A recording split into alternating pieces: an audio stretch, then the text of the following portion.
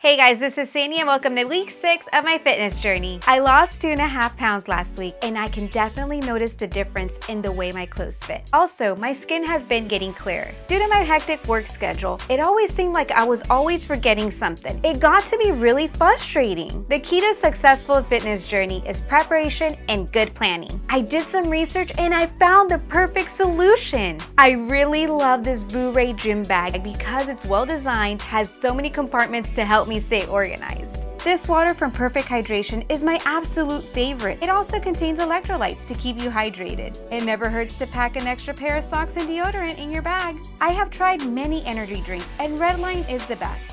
No crash, tastes great, and delivers a huge punch of energy. I like to keep a pack of disinfecting wipes in my bag to get the most out of my workout time. This Polar heart rate monitor is by far the most accurate heart rate sensor I've ever had. This protein shake bottle by Smart Shake is an incredibly versatile all-in-one drinking and storage solution. I always tend to forget my headphones, so I always make sure I have these in my bag. That's everything I keep in my gym bag. I hope you like this video. Give it a thumbs up. What's in your gym bag? Let me know what other fitness topics you want me to cover next week. I'm also including product links that I talked about in this video. Thank you so much for watching. Don't forget to follow me on all my social media outlets and subscribe to my channel. Keep checking my day-to-day -day updates on my Instagram and I'll see you guys next week. Bye!